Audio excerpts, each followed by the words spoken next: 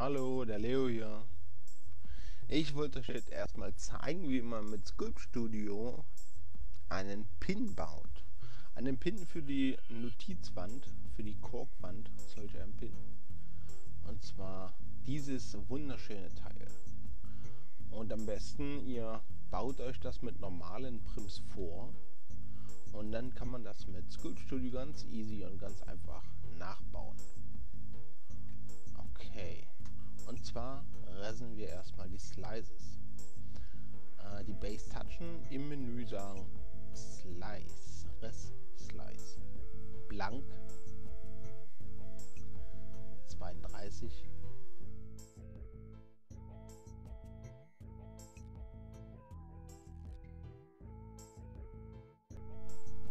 Okay. So, dann gehen wir mal an die Spitze unten. Wir fangen unten an. Und da gehe ich mal hin und sage Touch den Null Slice. Und im, Maus, äh, im, im äh, Dialogmenü sage ich Load Slice Pol. Pol heißt einfach, dass alle Points zum Mittelpunkt des Slices gezogen sind. Also wenn ich den Slice öffnen würde, würde optisch nur ein Point zu sehen sein, weil alle Points alle 32 Points im Kreis, wie bei den anderen Slices, äh, sind dann in die Mitte gezogen. So, den muss ich mal ganz klein machen. So. Okay, da ist er. Ganz klein. Dann gehe ich auf die, wo haben wir die 15? Da haben wir die 15. 15 15 setze ich. Ähm, ja, die wird mein Ende von diesem Stachel. Die 15. Und die muss ich jetzt mal auf diese Größe bringen. Upp. Na, manchmal. So. Ein bisschen reinzoomen. So. Alles klar. Jetzt sage ich, von Slice hier unten, von dem Null Slice. Touch. Sequence. Noises. Null. Im Menü From Here. Jetzt gehe ich auf die 15 und sage Touch to Here. Von hier nach da. Und alle Slices, die jetzt dazwischen sind, sind jetzt im Speicher, im Zwischenspeicher des Sculpt Studios vermerkt. Jetzt touche ich die Base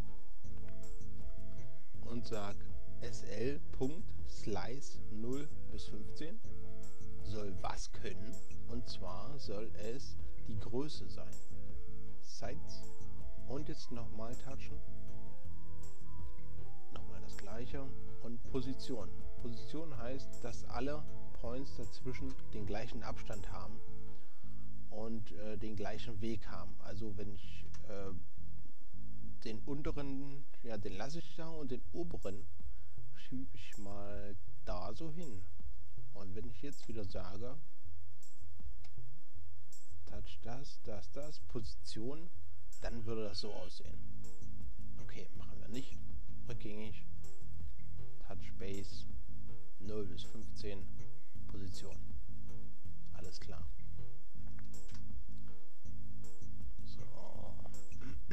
Das ist die 15. So, jetzt nehme ich die 16 und schiebe den mal genau auf den Rand der 16. Okay, den machen wir so und zack, alles klar. Da sage ich jetzt Touch Slice Copy Copy Post Size kopiere mir die Position, die Rotation und die Größe. Jetzt touche ich die Nummer 17 und jetzt sage ich Paste, also einfügen. Paste, Paste, Position, Rotation und Größe. Zack. Jetzt ist die 16. Ah, okay, da sieht man es nicht gut. Da sieht man es auch nicht so gut. Ähm, ich mache mal so. Hier, die 17 ist genau auf der 16 drauf.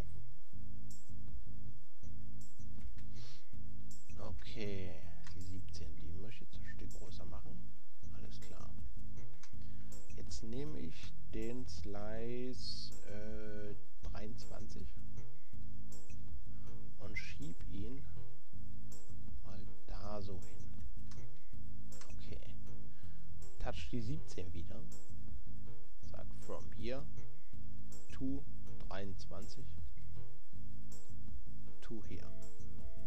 Touch die Base. Slice 17 bis 23.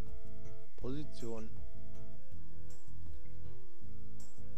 Und jetzt sag ich äh, einmal weiter blättern.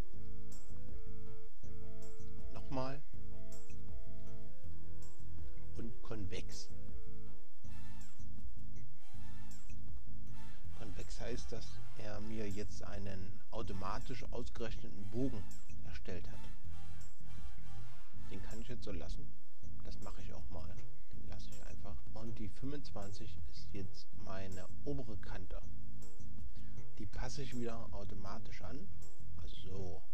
Ein bisschen ranzoomen. So, zack.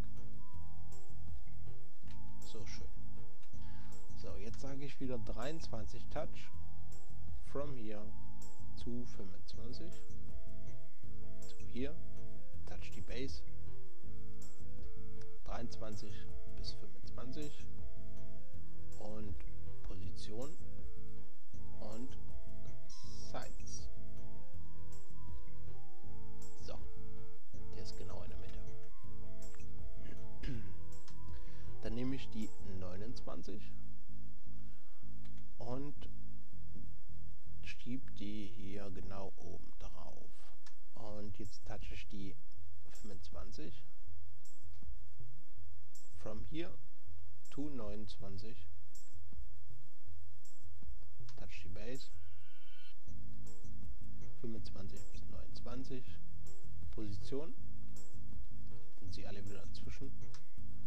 Nochmal Base touchen. Wie das gleiche. 25 bis 29 und sage auf weiter, weiter, konvex. Somit habe ich dann den oberen Bogen. Und jetzt machen wir nochmal den Schluss und ich touch die 29 und sage Copy, Postrot Size, touch die 30 und sage Paste, Postrot Size so, der ist wieder dazwischen, da sieht man es ein bisschen flackern. Die 31 ist unser Schluss-Slice. Und da sage ich wieder Load Slice und Pol. Und Paste Postrod Sides. Okay. Nun touche ich wieder die Base, die Basis und sage Edit Frame zwar die Bounding Box greased und die ist jetzt erstmal 10 x 10 Meter. Das ist mir aber zu groß und deswegen sage ich Auto Adjust. Und er hat sie alleine angepasst. Und sage jetzt Sculpti.